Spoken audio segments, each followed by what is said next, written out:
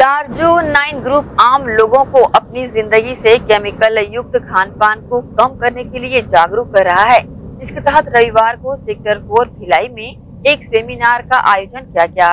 इसमें हज़ारों लोग शामिल हुए और उन्होंने अपने जीवन में बढ़ते केमिकल के उपयोग को जाना।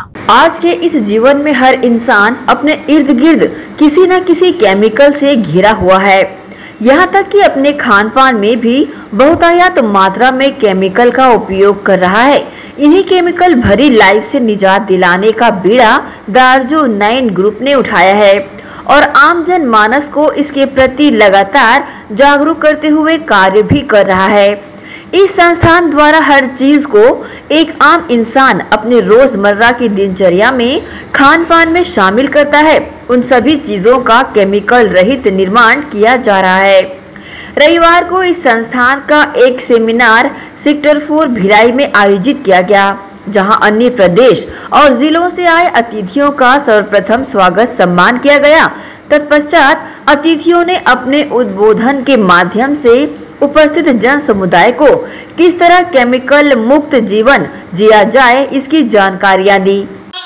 इस पूरे छत्तीसगढ़ की धारा से 100 परसेंट हम लोग करेंगे और आज आप सबका सहयोग और उस सहयोग के माध्यम से इस जर्नी को हम आज हम एक मिशन केमिकल फ्री पे आयोजित कार्यक्रम यहाँ पर रखे हुए हैं, जिसका मिशन है कि हिंदुस्तान के जितने भी लोग आज केमिकल से जुड़े हुए हैं मतलब हर चीज़ केमिकल का यूज़ कर रहे हैं। तो हमारी पहली पहल है, हमारी एंड कंपनी की पहली पहल है कि हम लोगों को हर वो चीज़ दें जिसमें केमिकल मिला हुआ ना हो। उस मुहिम से जुड़ने के लिए आप हमारे इवेंट में आइए और हमारे इवेंट में पूरे इंग्रेडिएंट को जानिए और समझिए, हम सुबह से लेकर शाम तक हर वो चीज़ बना रहे हैं जो ऑर्गेनिक देता है और ऑर्गेनिक दिलाता है।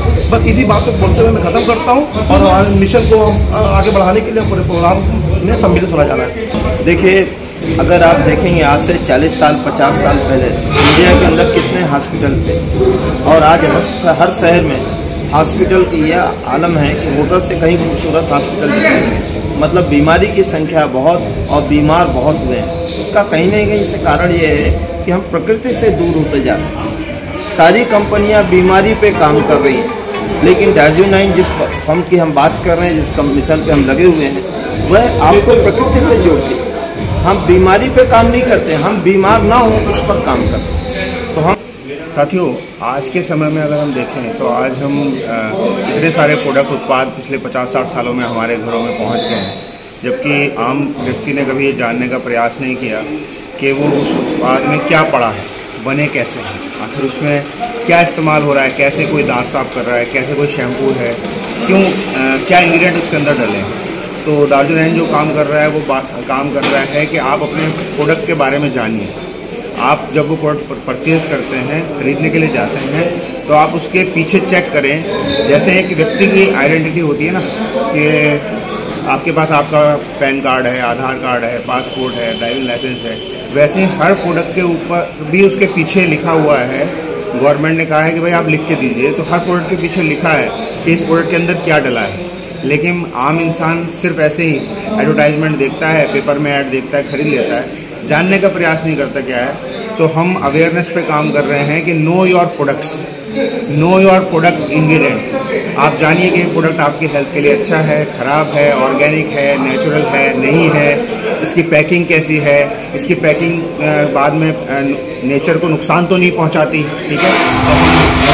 उसके काम कर रहे हैं कि बायोडिग्रेडेबल रिसाइकलेबल पे काम कर रहे हैं और इन चीज़ों पर काम कर रहे हैं। बाकी आप इवेंट में आइए और चीज़ों को जानने और समझने का आपका स्वागत है। धन्यवाद। आज हर मनुष्य के खान पान की हर वस्तु में केमिकल का उपयोग धड़ल्ले से किया जा रहा है।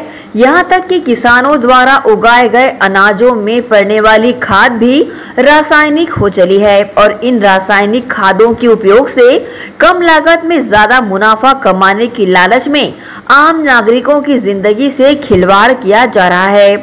जिसे समझना हमें बहुत आवश्यक है और अपनी बेहतर स्वास्थ्य के लिए केमिकल युक्त खाद्य पदार्थों का बहिष्कार करते हुए केमिकल मुक्त खाद्य पदार्थों का उपयोग करना अति आवश्यक हो गया है। ग्रैंड एशियन न्यूज़ के लिए संतोष शर्मा की रिपोर्ट।